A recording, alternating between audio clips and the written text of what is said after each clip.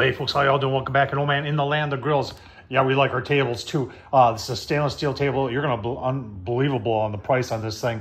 Nice, nice four wheels, folks. Let's take a look at it. This is from Vevor. I'm going to leave a link down below where I got this from, folks. But it, it's uh, for the price. You, you, can't pass it up. Let's take a look at that, and then uh, let's just show you some of the details. All right, so there it is. This, this you got to check them out. They're on Amazon too, but they've got a lot of cool products, folks, and they're very reasonably priced. This is 36 by 24, the top 36 24, and it's 109 bucks, 110 bucks was 180 and it's got four nice casters on it. Let's just take a closer look at it. But for 100, 110 bucks, you can't go wrong. Like I said, this is uh, pretty nice for 110 bucks, folks. Uh, locking casters in the front, rolls real nice.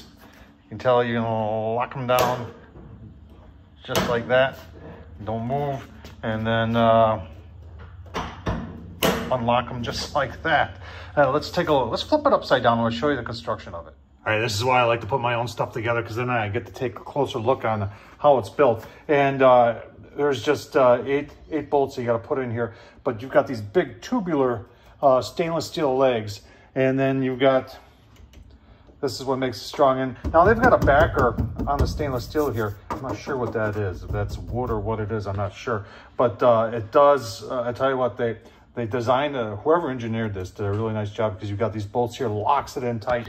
And same thing with the mid shelf there. And you've got, you can put it in three different areas there. I chose to go on the high side. Uh, this is all stainless steel, a little thin there. I, I gotta admit, admit to that. But uh, what I like about it is it makes it a little bit on the light side, so it's easy enough to move around.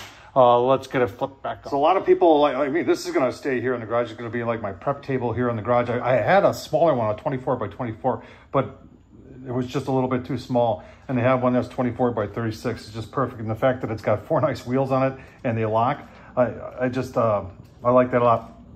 A lot of people sometimes are looking for a mobile center island in their kitchen, folks. This is the deal right here. And for 110 bucks, huh, can't go wrong. Hope this was helpful. I'll leave the link down below. Tom Horsman at YouTube. Thumbs up, leave a comment. Thanks for watching, folks.